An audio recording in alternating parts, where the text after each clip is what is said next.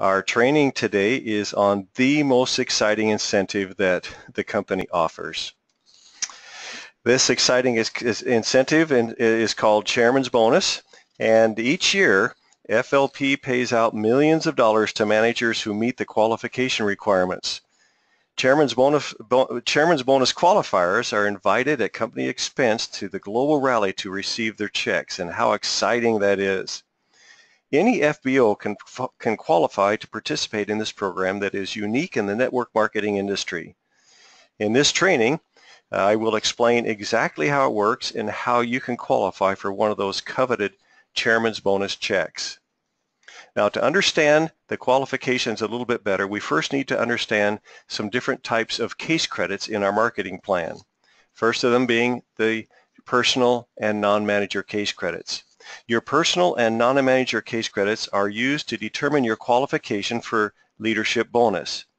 These case credits come from purchases made in your own name, those made by your retail clients, and those made by your Novus customers, and those made by FBOs in your group who are not under another manager. In other words, all of this group that you see off to the right-hand side of your screen, these count toward your um, personal and non-manager case credits. The purchases being made by managers and those under your managers do not count for this qualification. The next kind of case credit I want to talk about is the pass-through case credit. Now, you may have, be in a point, a point in your um, career where you have a manager under you who is not active, and yet he or she has some FBOs under them that are still purchasing product. Well, because that manager is not active, those case credits pass through that manager up to you and they are called pass-through case credits as well as the bonus that you're receiving on those purchases. These pass-through case credits do not, I repeat, they do not count toward your personal and non-manager case credits uh, that you need for your chairman's bonus. The next type of case credit is the new case credits. Now, new case credits uh, come from the personal and non-manager case credits of people that you sponsor personally to you and the people that they sponsor under them for a period of 12 processing months, including the month in which they were sponsored, or until they reach the manager position, whichever comes first. Now here's an example. Let's suppose that John, that you sponsored John in the month of June. And since he goes through the entire 12 months up through the uh, following May, he is still not a manager. Well, that means that all of the case credits that he does and his resulting downline do, all of those case credits count as new to you. Now after the one year period, after the end of May, they no longer count for you as new case credits. Here's another example. Let's suppose that you sponsored Mary in the month of June and she progresses in the business and by the following February she hits the level of manager. Well, all of the cases that were that were uh, generated, all the case credits generated by Mary and her group up until the point she hit manager level, they count to you as new and then they stop being new after that. Okay, so she became a manager before the end of the 12 months. Your new case credits stop at that point. The next type of case credit is the total case credits. Total case credits are exactly that. They are the total case credits that a uh, that a manager can earn, that you can earn. As you can see, they come from your non-manager groups under you. They come from your pass-through case credits that we mentioned, and they also come from your factored manager downline man manager groups, their, their case credits, the 40%, the 20%, the 10%. All of those combined are your total case credits. And part of the requirement you're going to see a little bit later on, we're going to refer to total case credits. Okay, now that we know all about case credits, let's begin our explanation by uh, defining several key terms that you'll need to know. First of all, participating country. A participating country ha uh, has met national sales goals during the previous year and thereby participates in chairman's bonus during the current year.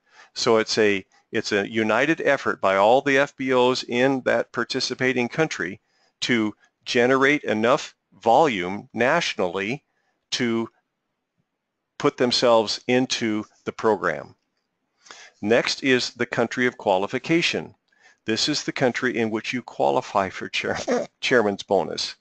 Now, 99% of the time, FBOs qualify in the country where they live. Once in a while, we will have FBOs who have huge groups in foreign countries, and they are able to qualify in those countries. Okay, but it's important to remember that only the case credits that are generated in the country of qualification determine the number of shares that you will have in the program and ultimately the size of your check. So if you live in North America, but you qualified in, let's say, Hungary, only the cases that you, your group in Hungary generated are going to count towards the size, the actual calculation of the size of your chairman's bonus check. Finally, we have the home country. This is the country where you have domestic status. Usually it's the country in which you live. You can only have one home country. All other countries are foreign to you. So we need to understand the home country, the, the, uh, the, the concept of the home country. Now we have some general requirements that are um, needed by FBOs who qualify for any of the levels in our program. We have three qualifying levels. All of them require these general points. First of all, the incentive period is a calendar year, January through December. You must be active and leadership bonus qualified every month during the incentive period, uh, either every month in your home country or every month in your country of qualification. You can't combine them you can't be active in your home country in January, February, and then active in the country of qualification in March, April. You must have the 12 months of activity all in your home country or all in the country of qualification. E either one will uh, satisfy that, that uh, requirement. You must be uh, you must abide by company policies and the code of professional conduct. Okay, you must be earned incentive qualified. In other words, you must be participating in the Forever to Drive program at least one month out of the year. You must be touching that program in one way or, or another.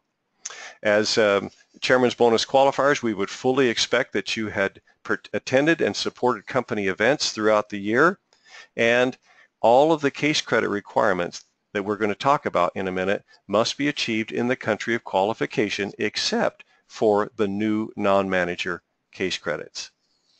Okay, now that we've got the generals out of the way, let's get to the specifics for each level of qualification. Let's talk about level one. In level one, you must accumulate 700 personal and non-manager case credits. Remember we defined those earlier. Um, during the incentive period, these must be uh, accumulated after you become a recognized manager. Now that's a good point I should, I should uh, emphasize here, is that if you're not a manager right now, um, you could, let's suppose that you became a manager in March. You could then go on to accumulate 700 personal and non-manager case credits after that point and be active and uh, leadership bonus qualified every month after you become a manager and you could still qualify during the month uh, during the year of 2017.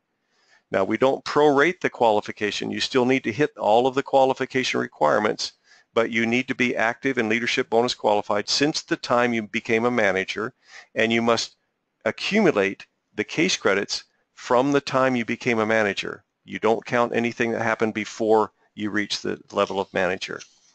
Okay, so you've got 700 uh, personal non-manager case credits, including 150 new case credits. You remember what the new case credits are? They're from people who are less than a year old in your in your business. 150 of those. Now, here's the here's where here's the exciting part. You can count up to a maximum of 150 new case credits that were generated outside of your country of qualification toward your qualification requirements. So if you lived in the, as I mentioned, in North America, and qualified uh, uh, in North America, but you had a group uh, sponsored in, uh, let's say, UAE, and they did 150 case credits, new. They were new people, you know, less than a year old for you. You could count up to 150 of those to toward your new case credit requirement and toward your total personal and non-manager requirement. So that's exciting. If you have responsored a um, FBO, they count as new for a year. So those case credits are counting for you. In addition to the case credit requirements, you must have a downline manager in the country of qualification who does at least 600 total case credits. You remember we talked about total case credits, the all-encompassing case credits from everywhere? Your downline manager needs to do 600 total case credits, not just personal non-manager, but 600 total, which makes it a bit easier for them. And um, if you have that, you have qualified for level one. If you do not have a downline manager with 600 case credits, you can fulfill that requirement in another way by having a downline manager anywhere in the world who qualifies for chairman's bonus. So either chairman's bonus manager in any participating country or a downline 600 case credit total case credit in your country of qualification. Now let's move on to level two. Let's see what's happened to my screen here. Level two. Here we are. We want level two. There we go. Sorry about that.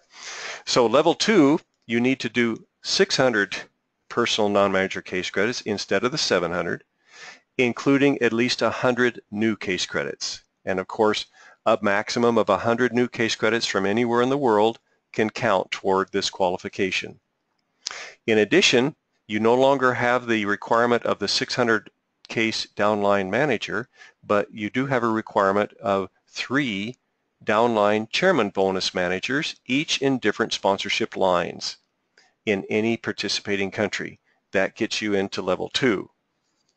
And we have level three, where the requirement is 500 personal non-manager case credits, including 100 new case credits.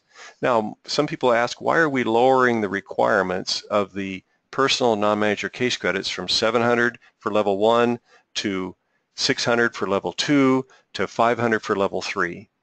Well, the theory is that as you're building your group and you're developing more and more downline chairman's bonus managers, you're going to be more involved in training and motivating and helping them achieve chairman's bonus manager. So we've made your personal um, uh, and non-manager case credits a bit less so that you have the time to work with those downline managers. So for level three, how many downline managers, uh, chairman's bonus qualified do you need? You need six. And uh, they must be in separate lines. They cannot be under each other. And they can be anywhere in the world, in any participating country. Okay, so there you have it. Uh, now let's talk about, now that you've qualified, you want to figure out how much money you're going to get, right? Let's talk about how that is calculated. We take contributions from all of the participating countries and we have a giant bonus pool for the entire world. And let's suppose I've got here, I've got here South Africa, Hungary, and France. Now let's suppose that in South Africa, they are participating, all of these countries are participating, but in South Africa, the highest level qualified by anybody in South Africa was level one. In Hungary, we had some level one and level two qualifiers, and in France, we had level one, two, and three qualifiers. Okay, so South Africa is going to take a percentage of their total sales and they're going to contribute it to the bonus pool. Hungary is going to contribute a bigger percentage of their overall sales because they had a higher um, uh, qualifier. They are going to uh, contribute a higher percentage. And France, they had the highest, they had all three levels qualify, so they are going to contribute an even higher percentage to the bonus pool. So we take this worldwide bonus pool and then we divide it into three smaller pools, pool A, B, and C. We take one half of the total for pool A, a third of the total for pool B, and a sixth of the total for pool C. Then we take those pools and divide it amongst, as you see, pool A is divided amongst level 3, level 2, and level 1 qualifiers. Pool B is divided amongst level 3 and level 2, and C is level 3. And each person who qualified in each level is going to receive their, their proportionate share of their various pools that they've qualified for. So I can, you can see why the level three qualifiers, the checks can become uh, very large. They are taking a piece of each of the pools. Okay, now let's give an example of somebody who's achieved level one. Let's suppose you have achieved level one and um, over here in this chart on the right, you can see that you're, you had personal non-manager case credits of 746. You needed 700 to qualify, so you, you blew past that one. But let's suppose that in addition to that, you had some leadership case credits which do not factor into the qualification, but they are going to factor into your earnings. We take the personal non-manager and add the leadership, so we have a total case credits for you in your country of qualification of 1,026. Now here's, you don't stop there. This, that isn't just the number of shares that you get. You see, because you helped other people become chairman's bonus, chairman's bonus qualified, you get to take the first chairman's bonus manager down each of your sponsorship lines and you get to add their total case credits to your total to determine your shares.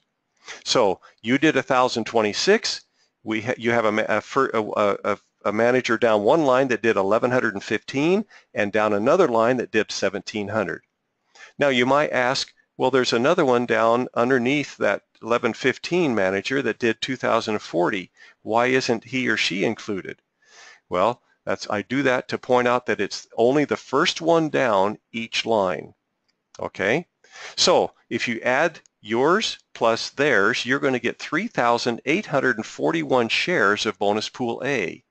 Now let me point out that if you could only count your own, you would have only had 1,026 shares.